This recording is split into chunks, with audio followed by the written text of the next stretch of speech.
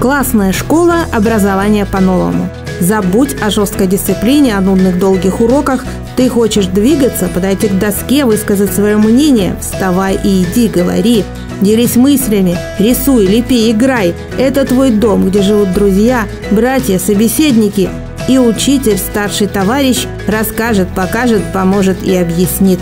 Школа, в которой тебя любят. Новая, не в будущем, а сейчас. Строится, растет вместе с учеником. Как? Хотите знать? Слушайте программу «Классная школа. Образование по-новому» на самом объективном радио 49-я параллель. Все начинается со школы. Уроки нравственности тоже. Разве можно с этим поспорить? Дети с особенными потребностями могут учиться в новой украинской школе. Там они равные среди равных, обычные ученики, например, первого А или второго В класса. Это уже работа по европейским стандартам, между прочим.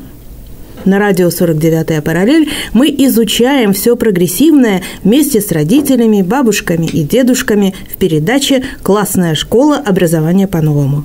Это совместный проект Департамента образования и науки Луганской областной государственной администрации и самого креативного радио «49-я параллель». Идем в ногу со временем.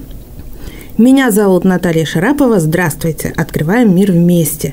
Сегодня говорим об инклюзивном образовании с Еленой Гейко, директором Рубежанской общеобразовательной школы номер 3. Добрый вечер, Елена Анатольевна. Здравствуйте. Елена Анатольевна, инклюзивное обучение – это тема нашей передачи. Ваша школа уже несколько лет работает в этом направлении. Как начинали, почему именно ваш коллектив? Но сначала давайте объясним нашим слушателям, что такое инклюзия. Вы знаете, понятие инклюзивного образования появилось давным-давно, и э, люди по-разному воспринимают это, эти два понятия. Хочу сказать, что впервые в Украине заговорили об инклюзивном образовании только недавно. И согласно закону Украины об образовании, статья 19 и 20, уделено внимание развитию инклюзивного образования. Что же такое инклюзивное образование? Это способность всех детей – независимо от их физических возможностей, от их психологических возможностей, обучаться в обычной школе, обучаться по микрорайону и получать полноценное образование. Почему именно ваша школа начинала этот проект? То есть еще не было реформы, а у вас этот проект уже работает? Э, для меня эта тема очень больная, потому что у меня самой сестра инвалид. И я понимала, как тяжело ребенку обучаться, как тяжело ребенку находиться в социуме. В 2012 году, когда я пришла работать, э, мы впервые задумались над э, барьерным развитием. То есть мы стали полностью занялись оформлением нашего входа.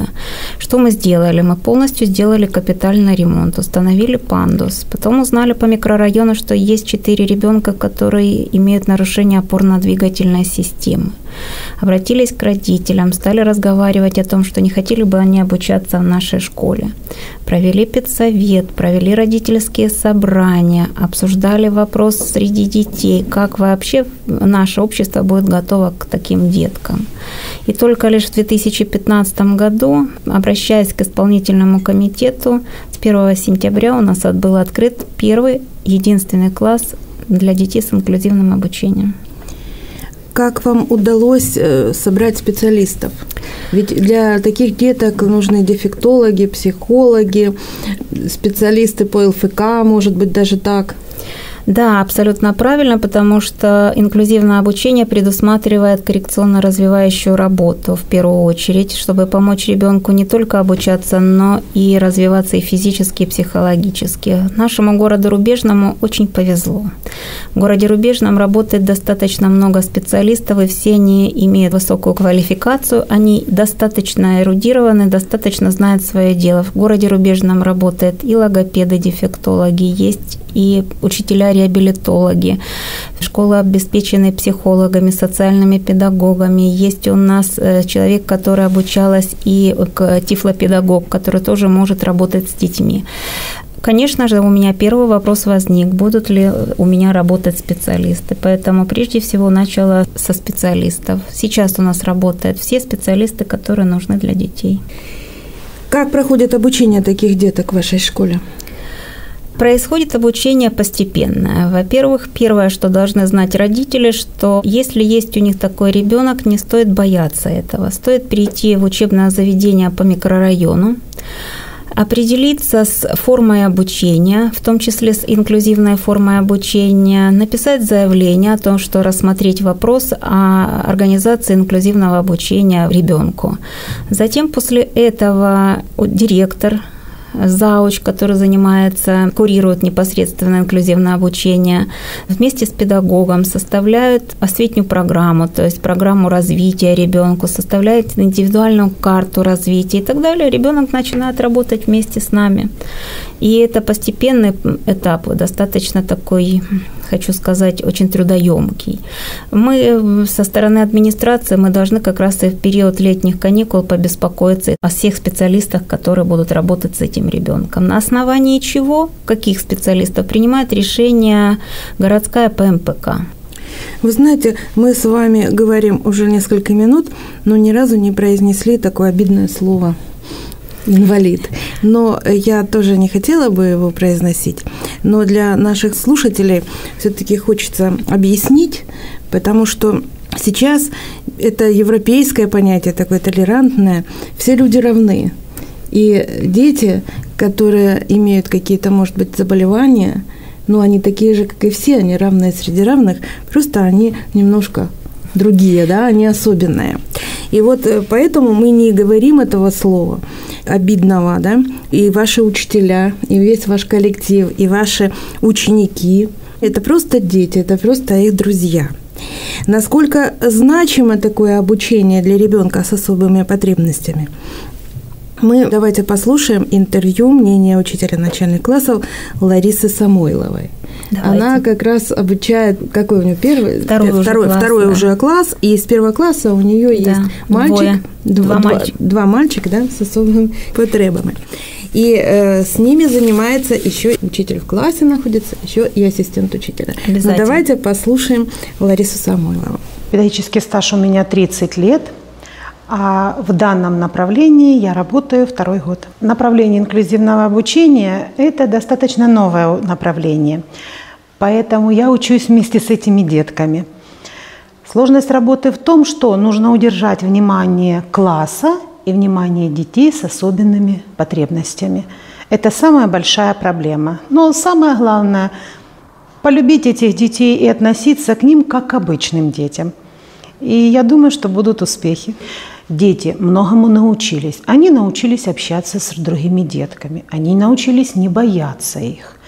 Дети в классе являются их первыми помощниками. Сначала дети помогали по моей просьбе, а сейчас они делают это по зову души и сердца. Если у этих деток что-то не получается, они тут же подходят, я тебе помогу помогают и возьмут за ручку, помогут обуть кеды на урок физкультуры. То есть Задача учителя вот наладить взаимопонимание между всеми детками в классе, а особенно с этими детками с особенными потребностями.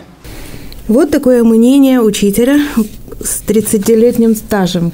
Тоже, наверное, для этого учителя все было новое, по-новому, может быть, были какие-то сложности, но э, итог нам понятен, насколько это гуманно, правильно и э, насколько это демократично сейчас.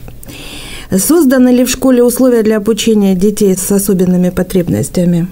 Да, конечно. Мы, естественно, занимались и созданием условий для таких деток. Хочу сказать, что достаточно хорошо государство сейчас помогает таким детям. Сегодня работают программы. В городе Рубежном есть программа развития образования до 2020 года. И одним из разделов является раздел об организации инклюзивного обучения. В рамках этой программы были приобретены парты-трансформеры, приобретены были переносной пандус для детей. Э, затем мы получаем достаточно хорошую субвенцию из государственного бюджета, которая дает возможность оплачивать коррекционную работу педагогов, работающих с этими детками, и приобретение материально-технического обеспечения. На сегодня в нашей школе оформлена комната логопеда, оформлена комната психологической разгрузки, оформлена комната физической реабилитации, и все это оборудование приобретено было за счет государственных денег и за счет местного бюджета. То есть вы опередили реформу, у вас да. уже есть оборудование, которое сейчас другие школы только получают. Да. А ваша практика, в принципе, это и есть та реформа, и сейчас уже вы можете обучать и проводить тренинги среди других учителей, учителей других школ, так я понимаю? Да, мы сейчас этим занимаемся, и приятно, конечно, когда к нам обращаются учителя и директора других территорий. Мы с удовольствием делимся своим опытом рассказом. Ну, хочу сказать, поделиться, конечно, очень приятно, что в 2017 году на международной выставке «Сучасная свита» за работу по программе «Инклюзивное образование» мы поделились своим опытом и получили золотую медаль. Ну, поздравляем вас. Спасибо Это очень большое. приятно. Я думаю, не только жителям города Рубежное, но и жителям вообще Луганской области, потому что это большое достижение и совершенно новый опыт вот э, мы говорим сейчас о том, как эти детки обучаются в обычных классах, но с ними рядом находится ассистент учителя, да? Это да. тоже у вас новая должность? Да, это педагогическая должность. Работать ассистентом учителя может педагог, имеющий педагогическое образование, естественно. Конечно же, желательно, чтобы это был, э, было специальное образование, потому что вузы сейчас выпускают и педагогов коррекционной работы, и психологов, именно педагогов дополнительно. Хочу сказать, что это профессия, которая помогает ребенку находиться непосредственно в классе. Я еще раз хочу сказать, что не стоит путать понятие ассистент учителя и слово тьютер европейского значения. В Украине... А, да, вот это важно, потому что я лично так поняла, что это э, похоже а, очень, похоже. или даже одно и то же, да. Функции Название фактич... должности. Да, функции фактически одни и те же, но тем не менее ассистент учителя – это оплачиваемая должность, которая входит непосредственно в штатное расписание, а Тьютер – это волонтер, которым может быть и мама, и папа, и дедушка, и бабушка, человек, который может находиться рядышком с ребенком. Учитель-ассистент – это специальность, где ребенок полностью во время учебного процесса находится с ребеночком. Он занимается с ребенком, сидит во время уроков, помогает учителю понять, когда ребенок может ответить, когда не может. Он вместе с учителем готовит календарное планирование, он вместе с учителем готовит поурочное планирование, он вместе с учителем готовит раздаточный материал для своего ребенка. То есть все функции, касающиеся ребенка, ребенка занимается ассистент учителя. И у каждого такого ребенка есть свой, свой ассистент, свой ассистент учителя, учитель. то есть такой помощник, личный учитель. Да. Ну, знаете, вот, а как так все-таки вы добились, что ваша школа позволила себе такую роскошь? Сколько у вас деток таких обучается сейчас? В этом учебном году у нас открыто 6 классов, 7 детей в инклюзивных классах. Это двое деток с нарушением опорно-двигательного аппарата и пять деток с расстройством аутического спектра. Ну, это семь ассистентов. Семь да. ассистентов учителя. Да, да, семь ассистентов, и все они находятся рядом с детьми, все пять часов непосредственно с ребенком. О своих новых обязанностях рассказывает Надежда Загаевская, ассистент учителя. Вся справа в тому, що я повинна бути поруч з цією дитиною, допомагати їй в навчанні, в е, спілкуванні з дітьми, з колективом його треба буде направляти на те, щоб допомагали цій дитині і права дитини ці зберігалися. Тому ось тут, коли я працювала з усім класом, у мене були одні завдання. Тепер я працюю тільки з цією дитиною. Это учитель вашей тоже школы да. с огромным стажем. С достаточно большим. Человек, который работала и в педколледже Лисичанском долгий период, и у нас уже работает, ее педагогический стаж составляет уже более 45 лет. Она же, кстати, и э, является руководителем нашей творческой группы.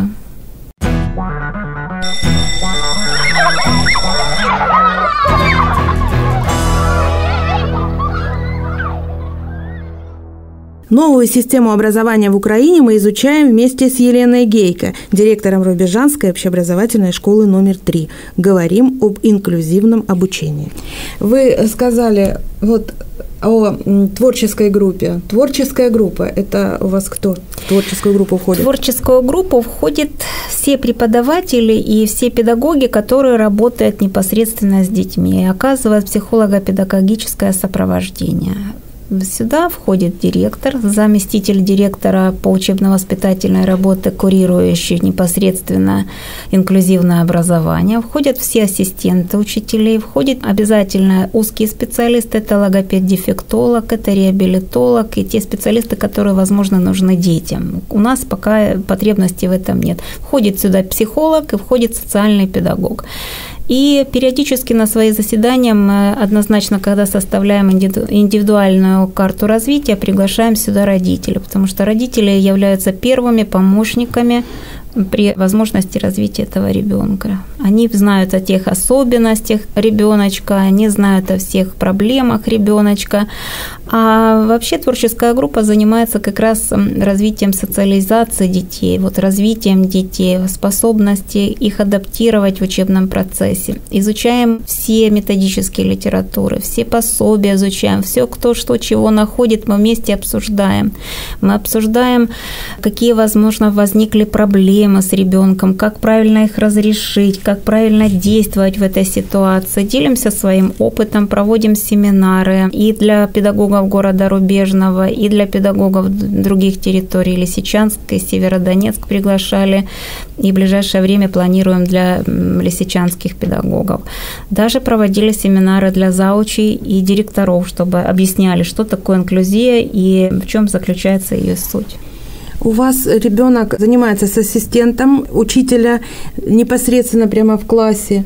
Это обычный урок, рядом сидит ассистент и объясняет ребенку, помогает ему во всем. Но есть и индивидуальные занятия, да, с логопедами, дефектологами, да. там, психологами, да? Да, абсолютно правильно. Эти занятия непосредственно вставляются в расписание ребенка. Для ребенка составляется свое расписание, потому что рабочие образовательные программы у них отдельно идут от класса, то есть обучение идет в классе, но э, количество часов немножечко разное. И в тот период, когда у детей, возможно, там больше часов, например, на тот же трудовое обучение, или ребенок освобожден от физкультуры, культуры, он находится со специалистом непосредственно, с которым он работает. Такие индивидуальные занятия дают прекрасный результат. Об этом сейчас мы услышим, скажет Елена Чугаенко, это логопед-дефектолог вашей школы. Давайте послушаем. А, в нашей школе обучаются дети в инклюзивных классах с расстройствами аутического спектра. Это дети с тяжелыми нарушениями речи. Но кроме этого у всех этих детей наблюдается дисфункция сенсорной интеграции. Поэтому наряду с работой над речевыми проблемами приходится работать и развивать все сенсорные системы. Это проприоцептивная, вестибулярная, зрительная, слуховая, обонятельная. Результаты есть, результаты хорошие. Дети к концу первого года уже начинают говорить небольшими предложениями. Предложения, конечно, короткие, два-три слова, но это очень хороший результат. Вот такое мнение логопеда-дефектолога. И в этой передаче эксперт убедила меня, я думаю, всех вас, что новая школа будет обязательно толерантной, гуманной и доступной для всех. Елена Гейко, директор Рубежанской общеобразовательной школы номер 3, была сегодня экспертом в студии очень познавательного радио «49-я параллель». Огромное спасибо за интересную беседу, Елена Анатольевна. Надеюсь, еще не раз встретимся в этой Спасибо, студии. конечно, обязательно.